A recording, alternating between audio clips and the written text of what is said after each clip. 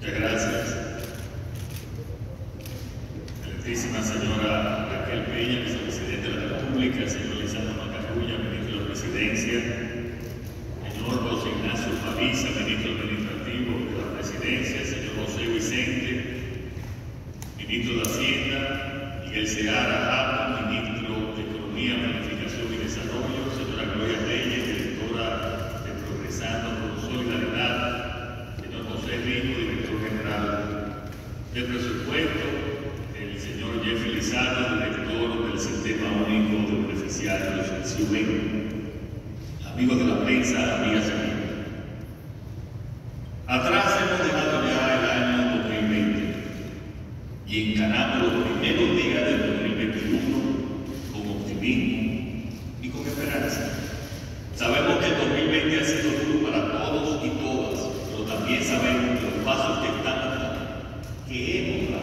en todas las áreas, nos permiten ver un horizonte cargado de oportunidades y protección social. Los procesos de vacunación pronto empezarán y podremos ir recuperando la normalidad en todos los sectores y en todos los frentes. Tanto nosotros como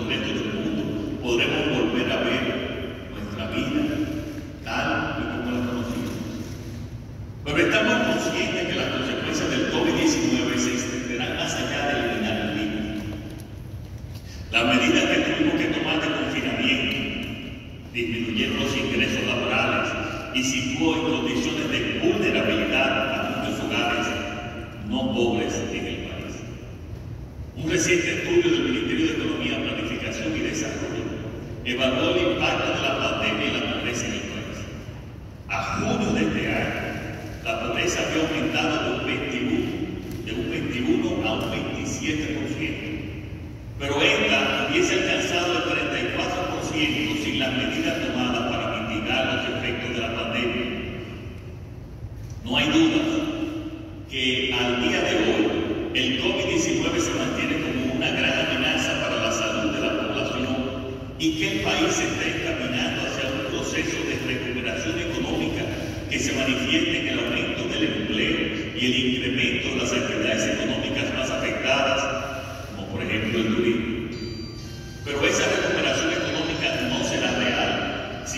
de una decidida acción social que haga de todos y todas podamos sentir la recuperación en nuestra propia vida. El gobierno no dejará atrás aquellos hogares que siguen siendo afectados por la pandemia. Vamos a seguir acompañando